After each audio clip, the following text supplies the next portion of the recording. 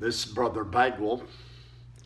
And uh, I just wanted to thank you, uh, those of you who went to YouTube, our channel here on YouTube, and subscribed. Uh, they were telling me I needed a thousand subscribers, at least a thousand subscribers to uh, to do live videos. And uh, we have reached that goal. I praise God for it, and I thank you for your part in helping us achieve that uh, status. We've only had our YouTube channel since April. Uh, it's a new endeavor, a new ministry for us. Been preaching revivals, trying to serve the Lord for years. Uh, again, thank you. Let me tell you some things that are here on our YouTube channel. It's preaching. It's all preaching of the Word of God.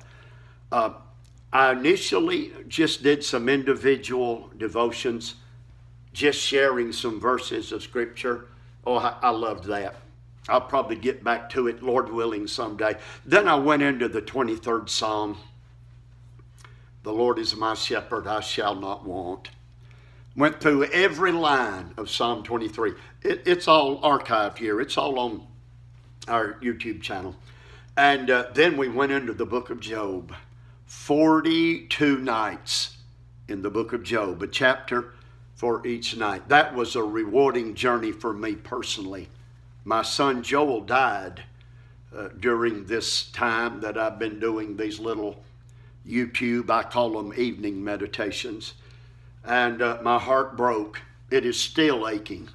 Yesterday was Father's Day, and it was in some ways a sad day for me. My oldest son, now in heaven. I didn't get to hear him say, Happy Father's Day, Dad. My younger son came and uh, drove nearly an hour to worship with us where I was preaching revival. Uh, he and Amanda, little darling Asher, uh, they sat with me and Debbie there on the pew until I went up to preach the Word of God. What I'm trying to say, God's Word will meet every need. If it could meet my need in sadness, it can meet yours. The Word of God. Went through the book of Job, every chapter. And now, probably no surprise, but now we're going through the book of Proverbs. Uh, I recorded just a little while ago uh, for uh, Facebook, uh, the, and, and it will eventually come to YouTube, uh, the uh, ninth chapter. What a chapter. Listen to that tonight. Listen to that. Uh, of Proverbs 9. Then tomorrow night, chapter 10, and we'll work our way through Proverbs. Thank you for subscribing. Continue to seek to be a diligent student of the Word of God because, after all, more we meditate in that book, we have the promise of God. He'll make us like a tree planted by the rivers of water. We'll bring forth fruit. We'll not be fruitless. We'll bring forth fruit in season. Our leaves will not wither, and whatever we do, God says, I'll prosper it.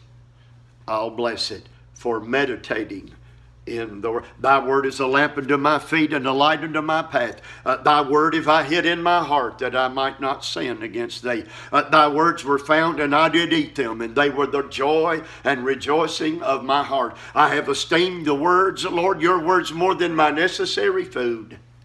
The engrafted word which is able to save your souls. Faith cometh by hearing, and hearing by the word of God. Be a student of the word.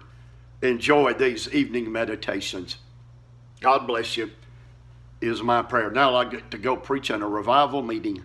I'm looking forward to it. Preaching out of one of the Psalms this week. Hallelujah. For the divinely inspired, inerrant Word of God.